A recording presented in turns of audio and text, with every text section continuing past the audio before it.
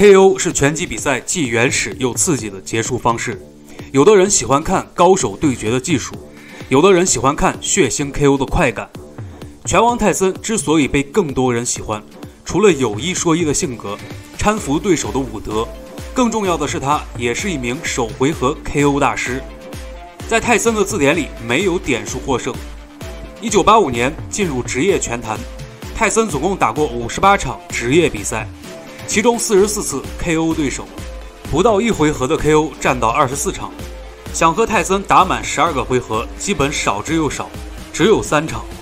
相比同时期的刘易斯，三十二次 KO，首回合 KO 只有五场；霍利菲尔德二十九次 KO，首回合 KO 相对更少，只有两场。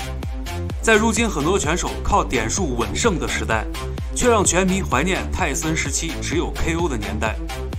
今天的影片，大师也带大家看一场泰森职业生涯最快的 KO，仅仅用了三十秒就 KO 了嚣张的拳二代。先介绍一下对手。马维斯·弗雷泽，八十年代著名重量级拳击手。他的父亲是大名鼎鼎的乔·弗雷泽，曾经和阿里·福尔曼并称“三巨头”。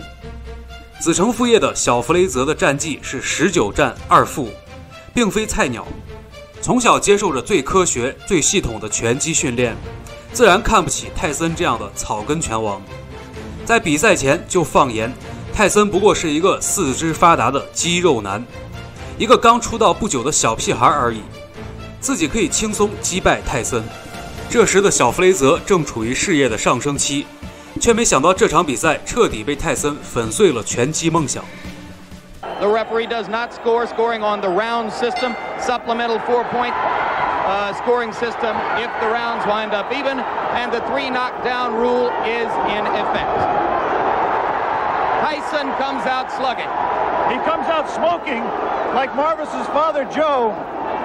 Marvis must move or we're going to be out of here very, very quickly.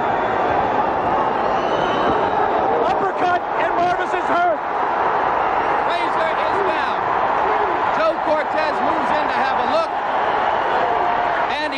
To stop the fight.